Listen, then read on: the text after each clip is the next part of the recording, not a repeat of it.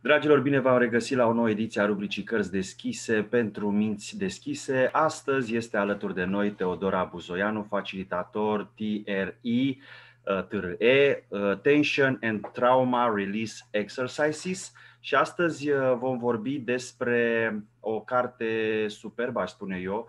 Iată volumul 2 al lui Babette Rothschild, Corpul și amintește revoluționarea tratamentului traumei, o carte publicată în colecția Psihoterapia a editurii Herald și pe care o găsiți această carte pe site-ul editurii Herald în cadrul uh, campaniei Sănătate și Imunitate.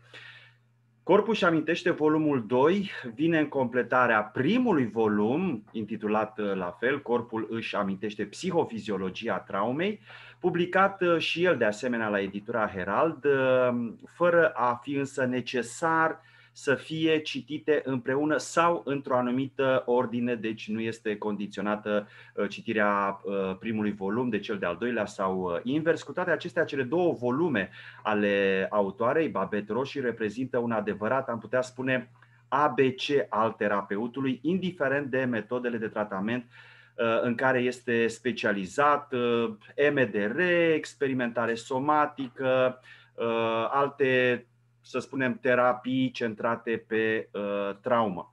Așadar, iată, pentru imunitate și pentru uh, o sănătate, spunem noi, uh, o sănătate atât din punct de vedere fizic cât și din punct de vedere psihoemoțional, mai ales că știm foarte bine cu toții, iată, uh, se pare că am scăpat de pandemie, uh, dar după un an și două luni în care am fost cumva în fața unor mari provocări, atât din punct de vedere uh, Uh, fizic, fiziologic, uh, sanitar, uh, teama de a nu ne infecta, dar și din punct de vedere, aș spune eu, psihoemoțional. Foarte multe probleme legate de anxietate, atacuri de panică, crize peste crize,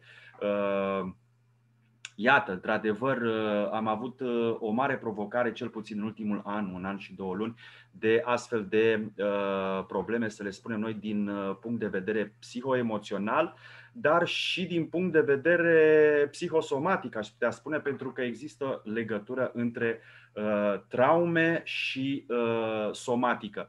Ce facem noi prin prisma a ceea ce tu faci alături de să spunem, uh, cursanții pe care, pe care îi ai și pe care uh, îi mentorezi. Mm-hmm. Ce facem noi să avem un, să avem un sistem imunitar uh, cât mai echilibrat și o sănătate atât fizică cât și psihoemoțională cât mai bună. Și aici mă duce cu gândul la dictonul mens sana in corpore sana, un corp sănătos într-o minte sănătoasă. E o întrebare excelentă, Sorin, mai ales în contextul actual în care, așa cum ai menționat, cu toții ne-am confruntat în acest uh, an și două luni cu tot felul de uh, lucruri neprevăzute care au apărut uh, ca reacție a contextului global în care ne aflăm cu toții. Este foarte interesant de înțeles că sistemul nostru imunitar este foarte strâns legat de sistemul nervos autonom cel care gestionează reacțiile noastre de apărare în fața unor situații pe care noi le percepem ca fiind periculoase. Și în momentul în care percepem că suntem într-o situație cu un potențial pericol care reprezintă ceva ce ar putea să afecteze integritatea noastră fizică, psihică, emoțională, spirituală, da? Organismele noastre pornesc aceste răspunsuri de apărare, cel mai adesea cunoscute ca luptă, fugi, îngheață. Din nou, așa cum și Babet uh, spune în, în cartea pe care ai menționat-o, corpul își amintește, pornirea acestor răspunsuri nu ține de raționalul nostru. Și ele au niște consecințe care cascadează în organismul nostru.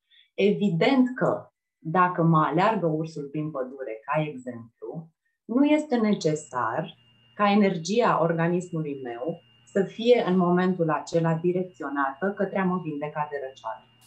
Da? Deci sistemul meu imunitar într-o situație de stres este unul dintre acele sisteme care începe să aibă o funcționare mult încetinită, ba chiar se poate opri pentru o perioadă de timp funcționarea propice a acestui sistem. De ce?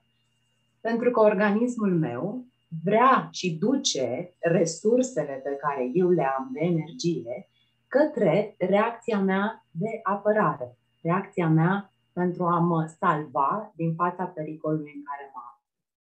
Și atunci, întrebarea pe care tu ai adresat-o vis-a-vis de ce putem face, da, sau ce fac eu alături de cursanții 3 uh, România, este să ne reîntoarcem către o împrietenire cu senzațiile organismului nostru, astfel încât, ușor, ușor, prin activarea mecanismului de vibrație codat genetic în organismele noastre, noi să semnalăm acestor creiere iraționale care au pornit răspunsul de apărare că ne aflăm acum în siguranță, că pot dezactiva acele răspunsuri, că nu sunt necesare în acest moment și ca atare putem să ne reluăm sau organismul poate să înceapă să își reia o funcționare a lui mai echilibrată, să se reîntoarcă la homeostază. În loc să rămână prins într-un răspuns de, de apărare activat ca într-o buclă. Da? Activat ca într-o buclă. Pomeneai mai, devreme, pomeneai mai devreme despre stres. Uh-huh. Uh, noi avem o carte, dacă nu mă înșel, publicată în colecția Psihopractica, Stresul 8 strategii de gestionare, Elizabeth and Scott, uh, în care se vorbește despre eu-stres, așa zisul stres bun, care, mhm. așa cum menționai tu și foarte bun exemplul tău, așa uh, cum menționai puțin mai devreme, uh, faptul că avem nevoie de un pic, un, un pic de stres, puțin stres în viața noastră, pentru a ne păstra în acea mică stare de vigilență, de alertă, da? Uh, și de ce nu? Câteodată în doze mici de, de adrenalină. Dozele mici de stres, de fapt, sunt, uh, sunt ok, benefice și cumva uh, suportabile în parametrii funcționali, în parametrii normali, suportabile de către organism. Bineînțeles, dacă ne ducem în zona cealaltă, distresul, stresul foarte acut, uh-huh. sau în fața unui pericol iminent, că ai dat exemplu puțin mai devreme, sau stresul cronic, iată,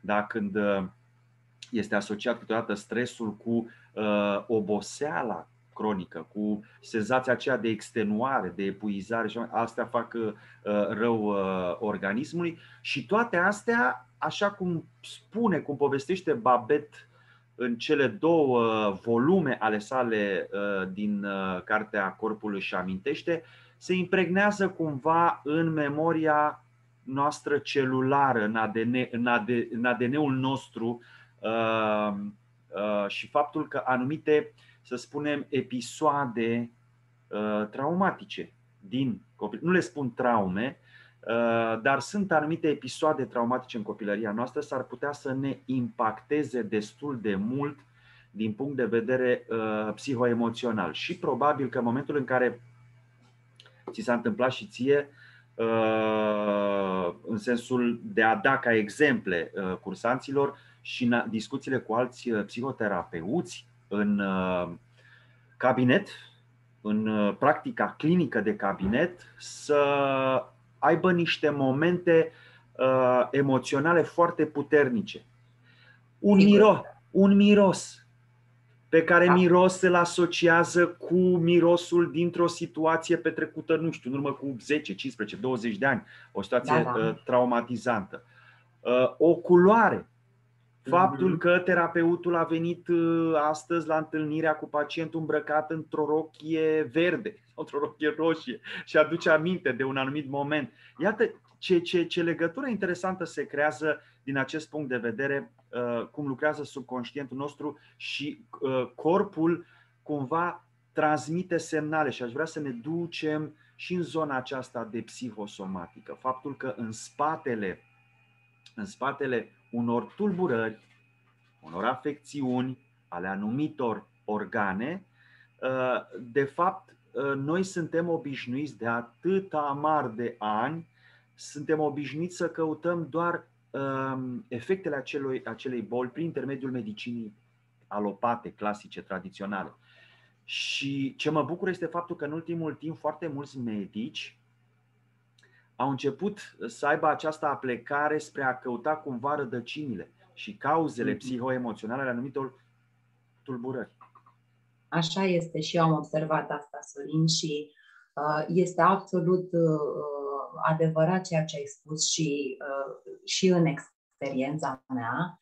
Uh, da, cred că e un mare deserviciu pe care, într-un fel, uh, uh, civilizația noastră l-a incorporat ca adevăr și anume această separare a minții față de corp și încercarea noastră de a înțelege și de a ne cunoaște mai bine natura, uh, am, uh, există vorba aceea în engleză că am, uh, să nu aruncăm și copilul cu apa de, apa de baie. Da?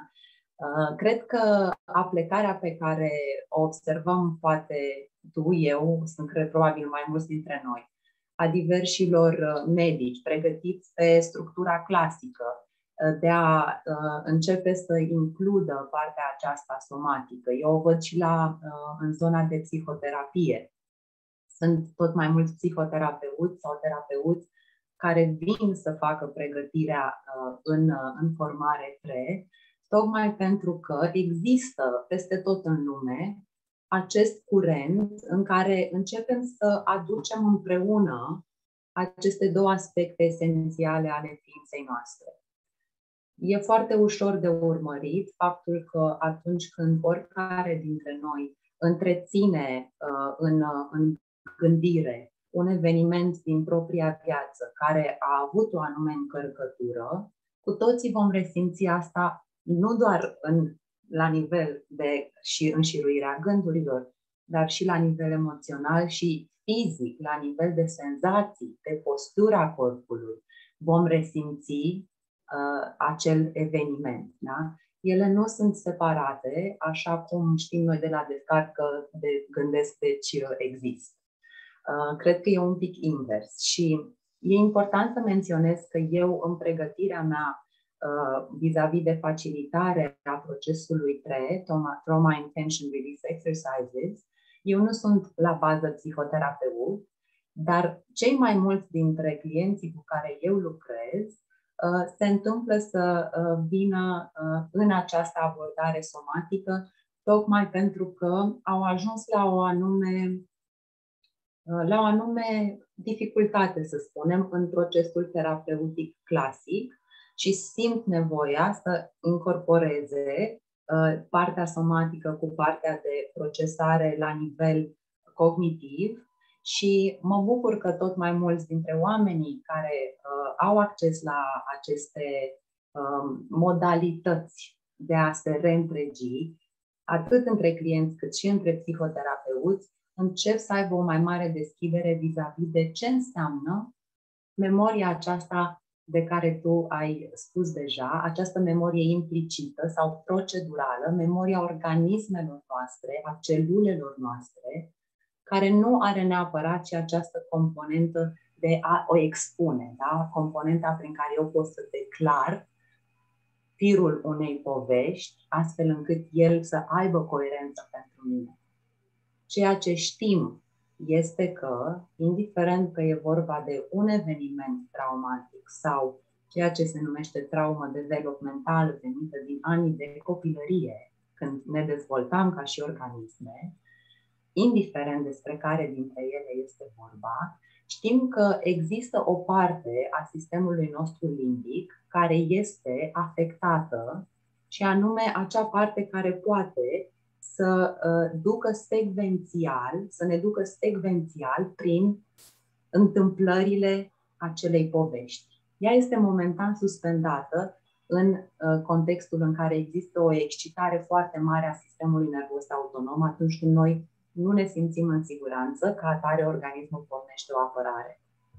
Și atunci parte din procesul meu de a mă reîntregi, de a-mi recăpăta integritatea, presupune conectarea acestei memorii implicite a organismului meu, a senzațiilor pe care uneori mulți dintre noi le resimțim, mai ales în perioada asta în care avem atacuri de panică sau anxietate, da? dar nu putem neapărat să conectăm de ceva anume, sau chiar dacă reușim să conectăm, ele nu încetează să se întâmple.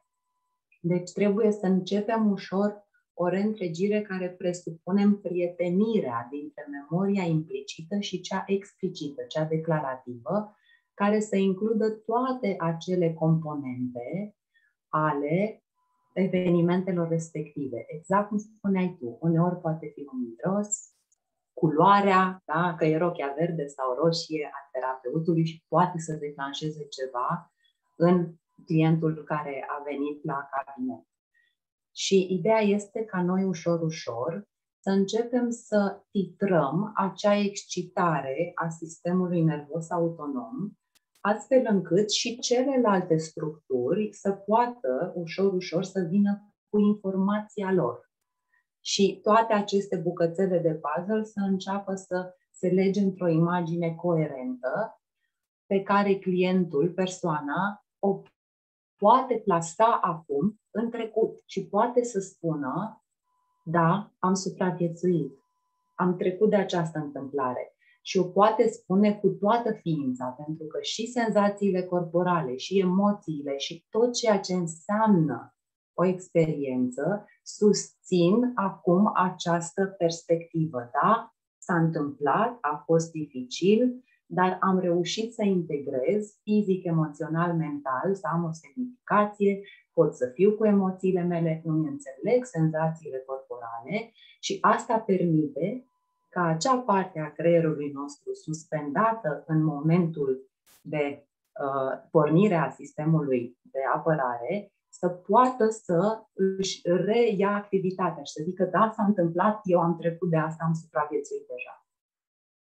Ca atare, nu mai e nevoie ca sistemul nervos autonom să repornească senzații deconectate, emoții care nu sunt neapărat justificabile, dar de multe ori copleșitoare. Dar nu mai e nevoie să intre pe aceeași buclă, pentru că evenimentul a fost clasat, înțeles, identificat, integrat, am o semnificație care a rezultat în urma trecerii mele prin acel eveniment. În practica noastră noi o denumim creștere post-traumatică și atunci eu pot să merg mai departe în viață, de cele mai multe ori, cu siguranță, cu o nouă perspectivă asupra mea, asupra lumii, asupra relațiilor mele, asupra ceea ce contează în viața mea. E o, e o schimbare de paradigmă în momentul în care trec printr-un astfel de eveniment și mai ales când reușesc să ies pe partea cealaltă. Cum ne transmite corpul, uh, apropo de ideea de, uh, a faptului că uh, corpul își amintește anumite episoade traumatice, prin ce semnale ne transmite corpul niște mesaje legate de uh, posibile tulburări afecțiuni ale anumitor organe, uh, în ideea în care să spunem că fiecărui organ îi corespunde, din punct de vedere psihosomatic, anumite uh, emoții. Da? Cum ar fi, să spunem, uh, furia, da? corespunde un anumit organ, mm-hmm. ficatului, cred. Da, da. Partea aceasta de anxietate și de stres, de neliniște stomacului, frica uh, e asociată cu tulburările uh, rinichilor. Uh, uh-huh. Iarăși tot ce înseamnă partea aceasta de contact fizic, uh, indiferent că încercăm să ne protejăm de o suferință și se întâmplă sau s-au întâmplat de-a lungul timpului uh, astfel de situații când anumite persoane au dezvoltat uh, anumite boli de piele, zona zoster sau psoriasis. Uh-huh. E o întrebare absolut pertinentă pentru omul modern, care cel mai adesea trăiește destul de deconectat de la lumea senzorială, de la lumea senzației pe care el o poate percepe în mod direct de la organism. Cei mai mulți dintre noi ne conectăm cu aceste senzații uh, în momentul în care ceva nu e în regulă și începem să mergem la doctor să căutăm, să vedem ce se întâmplă, care e cauza, da? sau în acele puține momente în care mulți dintre noi căutăm o stimulare, că tot spuneai tu mai devreme de adrenalină, o stimulare și mai mare, ne plac lucruri de genul sporturi extreme sau tot felul de situații care să uh, ne stimuleze foarte tare și atunci simțim o oarecare plăcere, o oarecare uh, senzație uh, plăcută în organismele noastre. Altfel, pe parcursul zilei, majoritatea dintre noi trăim destul de deconectați de la organismele noastre. Și asta este paradigma în care ne aflăm acum ca umanitate. Din păcate, se pare că e necesar să avem aceste momente care să ne struncine și care să ne facă să căutăm. Să începem să căutăm ba pe la doctor, ba pe la diverse metode alternative, să vedem un pic ce se întâmplă de fapt în organismul nostru. Dar altfel, suntem uh, precum niște case părăsite, pe care noi nu știm să le locuim decât aici la mansardă. Da? Corpul nostru de obicei este acea mașinărie care mă duce de la punctul A la punctul B, unde eu am diverse întâlniri sau treburi de făcut. Și, din nou, e poate nefericit că ăsta este contextul în care cei mai mulți dintre noi începem să ne punem problema acestei biointeligențe și a faptului că înainte de orice, eu vin ca și organism pe acest pământ. Și nu cunosc potențialitatea, capacitatea infinită a acestui organism al meu, pentru că de cele mai multe ori în societatea noastră nu este ceva care să fie valorificat. Da? O putem admira la sportivii de performanță, cu toții suntem entuziasmați când, când echipa de fotbal a României uh, joacă într-un campionat mai important sau vedem pe Simona Halep jucând la Wimbledon sau așa mai departe, dar dincolo de asta, dacă facem mișcare și avem o oarecare interacțiune cu ființa noastră fizică, cu corporalitatea noastră, o facem pentru că avem o imagine despre cum am vrea să arătăm și ne străduim într-un fel să atingem imaginea respectivă. Nu o facem ca o explorare a potențialității acestui organism extraordinar, care în permanență, pe parcursul unei zile, se reglează și se autoreglează de mii și milioane de ori. Sunt atât de multe sisteme care comunică unele cu altele și care în permanență își găsesc un ritm ca o, ca o orchestră. Sunt ca uh, muzicienii dintr-o orchestră. Dacă eu nu sunt în sala de concert, adică conectată la senzațiile mele, nu-mi dau seama atunci când uh, vioara uh, este neacordată. Da? Sau când toba a intrat prea devreme sau etc. etc. Deci nu sunt obișnuită să mă, um, să mă detașez, să mă... Termenul pe care și Babet îl folosește este de disociere. Mă disociez. Nu sunt prezentă pentru senzațiile mele. Cele mai multe uh, astfel de uh, modalități de a face față vieții, de coping, de disociere, sunt rezultatul unor evenimente cu un impact profund asupra funcționării organismelor noastre, care au rămas în continuare neprocesate, neintegrate, da? nu am putut să ies cu lecția pe partea cealaltă și mulți dintre noi regăsim asta nu doar în momentele în care începe să ne semnaleze corpul o durere, ci și în relațiile noastre care nu sunt tocmai grozave, de exact. muncă, exact. de cuplu, da, cu copiii noștri, cu părinții noștri, uh, de faptul că, uh, cel puțin în capitală, în secunda 2 în care am pășit pe stradă, claxoane peste claxoane la fiecare semafor, da, acest road rage, această incapacitate de a autoregla sistemul nervos, care se manifestă în toate aspectele vieții noastre. Și atunci poate nu e neapărat nevoie să aștept să mă doară ceva.